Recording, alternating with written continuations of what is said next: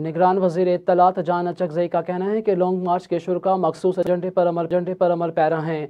बसों से उतार कर शनाख्ती कार्ड देख कर लोगों को कत्ल किया गया है। लॉन्ग मार्च में शामिल किसी खतून पर तशद नहीं किया गया।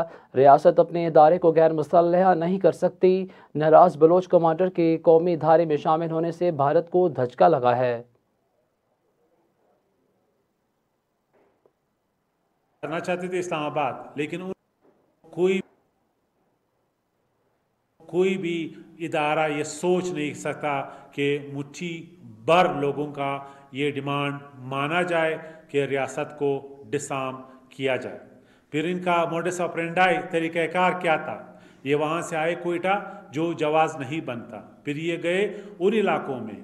जाना चाहते थे इस्लामाबाद, लेकिन उन बलोच डोमिनेटेड एरियाज़ में गए, जहाँ पे प्री प्लान के तहत वहाँ पे लोग, उन्होंने लोगों को प्लांट किया था। और इनके लोग वहाँ से निकले और उन्होंने इस पूरे इलाके को, यानी रोड को शाहराओं को बंद करने की कोशिश की।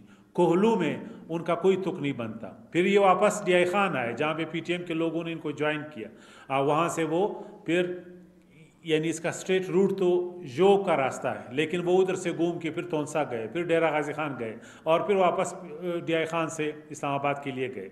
तो इनका एजेंडा बिल्कुल हम, हमें मालूम है, ये अपने एजेंडे में कामयाब नहीं होंगे।